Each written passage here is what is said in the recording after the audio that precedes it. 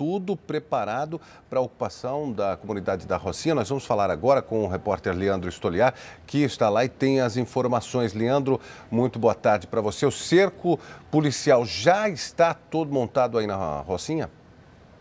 Boa tarde, William. Boa tarde a todos. Olha, o cerco policial já está montado aqui na Rocinha.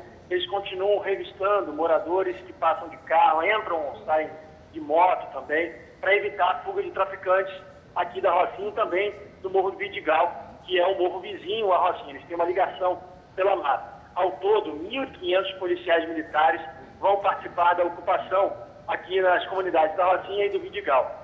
Esses policiais militares vão ter apoio também de policiais do BOP, que também são policiais militares, mas são da tropa de elite da polícia, e do batalhão de choque, além de policiais civis e federais.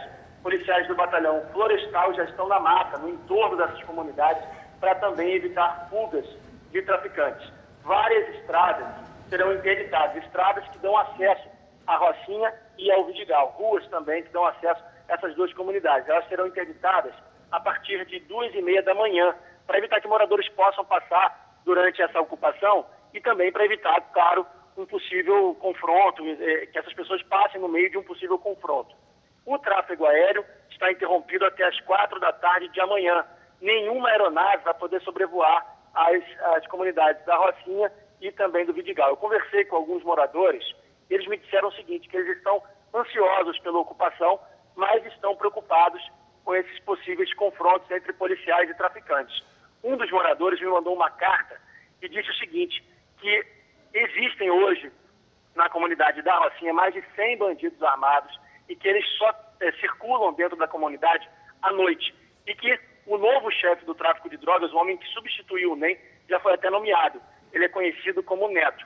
Eu conversei agora com policiais militares que estão aqui em torno da comunidade, mas eles não conhecem esse traficante, esse suposto traficante. A previsão é que a ocupação aconteça na madrugada de domingo, no iníciozinho da manhã, na madrugada para o início da manhã. William.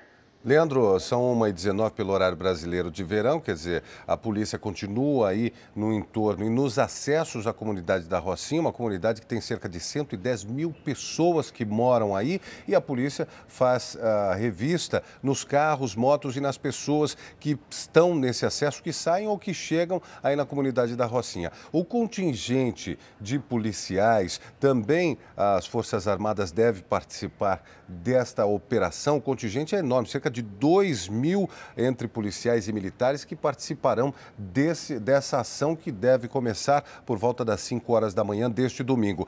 Há informação de que daqui a pouquinho a Marinha faça aí, uh, um comunicado uh, para a imprensa, não, uma entrevista coletiva para a imprensa, para explicar qual a, a, a, ação que ela vai ter dentro dessa a, ação da polícia a partir das 5 horas da manhã. Isso está confirmado?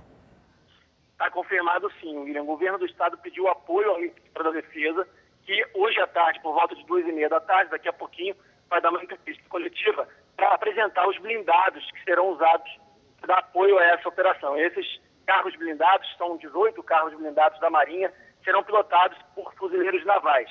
A Marinha também colocou à disposição dessa operação eh, nove oficiais e 175 fuzileiros navais para cuidar desse transporte. Esses blindados, é provável que esses blindados sejam semelhantes àqueles blindados utilizados na ocupação do complexo do Alemão. Essa coletiva acontece daqui a pouquinho, como eu falei, daqui a uma hora mais ou menos, lá no, no Comando Militar Leste. Ok, Leandro Estoliar acompanhando essa preparação, tudo pronto para que a polícia instale aí a 19ª UPP no Rio de Janeiro, Unidade de Polícia Pacificadora, e essa 19ª UPP deve ser e vai ser instalada a partir de amanhã ou desta semana, mas com ação começando já amanhã da ocupação da comunidade da Rocinha por volta das 5 horas da manhã da Polícia do Rio de Janeiro.